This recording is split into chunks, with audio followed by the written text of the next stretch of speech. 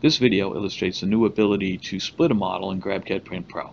Previously, if I had a model that was too large for my, my build volume for my printer, I'd have to take it into CAD and split it there. Now I can split it in GrabCAD Print Pro. Uh, my desired printer for this particular activity is uh, my F900, but my boss has told me that it's not available. So I'm going to switch to my 450MC and you can see that the fixture that I have to print does not fit on that printer.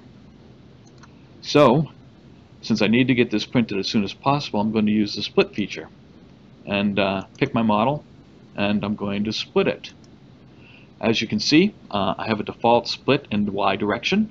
I have linear draggers to change its position forwards and backwards and also rotational draggers to change its position at angles to the default orientation. If uh, I want to go back to the beginning, I can reset to a predefined orientation, the Y orientation, which is what we started with, the Z orientation, and the X orientation, which is the one I'm going to use here because I think it will best fit my job. I can also change the direction of the split. And what the direction of the split does is allow you to uh, determine which part's going to have the pin and which's going to be the receptacles if you have registrations.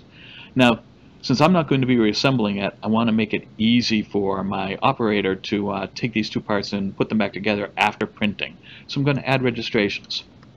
And I'm going to zoom in here, and you can see on base that the uh, I've got a registration mark, and it's a pentagon in shape.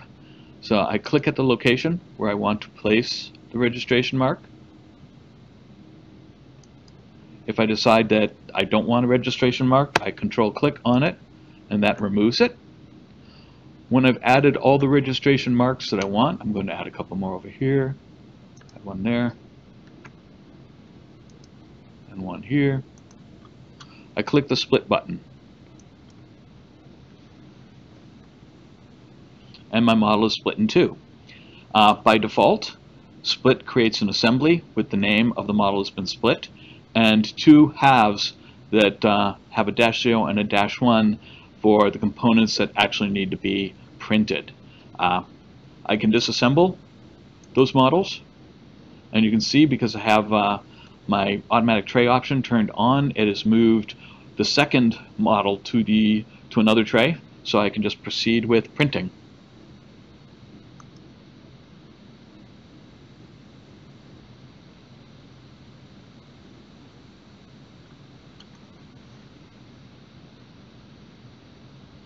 And as you can see, this is our part.